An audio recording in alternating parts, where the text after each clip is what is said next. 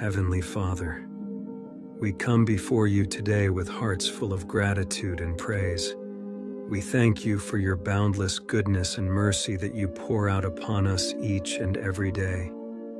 Your love is steadfast, and your faithfulness reaches to the skies. You are a good God, and your kindness knows no end. Lord, we thank you for the gift of life. Each day we wake up is a testament to your grace. Thank you for the breath in our lungs, the strength in our bodies, and the opportunity to experience the beauty of your creation. We are grateful for the simple joys we often take for granted the warmth of the sun, the sound of birds singing, and the love of family and friends. Father, we are thankful for your provision. You meet our needs, and you never leave us wanting. Thank you for the food we eat, the clothes we wear, and the roofs over our heads. We recognize that all good things come from you, and we are humbled by your generosity. Lord, we are especially grateful for your presence in our lives. In moments of joy and in times of trouble, you are always with us. Your Holy Spirit comforts us, guides us, and fills us with peace that surpasses all understanding. We thank you for your word, which is a lamp to our feet and a light to our path.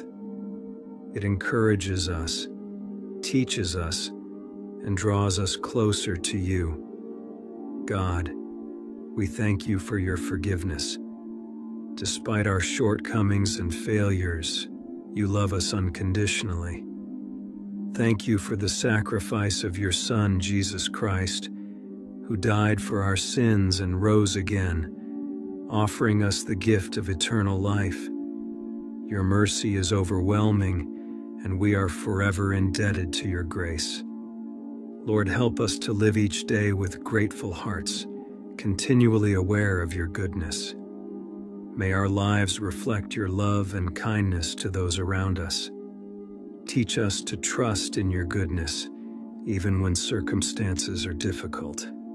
We praise you and thank you, Lord, for you are good and your love endures forever.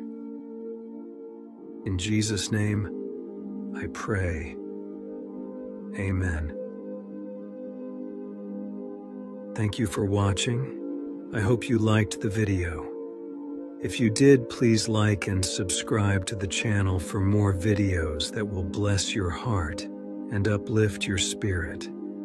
Please feel free to leave your prayer request in the comment section so that I can present them before God for your blessings and victory. May the love and grace of our Jesus Christ be with you all.